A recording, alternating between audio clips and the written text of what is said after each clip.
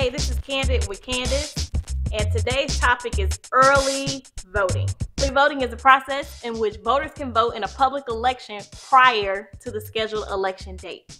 Early voting in Texas is usually two weeks. During early voting, you can vote in the county that you reside in at any voting location, as opposed to election day, where you have to vote at your designated precinct location. They only offer an electronic ballot during early voting.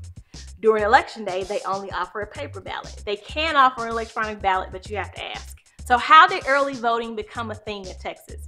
The precursor to early voting is absentee ballots. The state was dealing with such a high number of people that said I couldn't make it to the polls in time. There was so much traffic. So, California introduced a no excuse absentee ballot.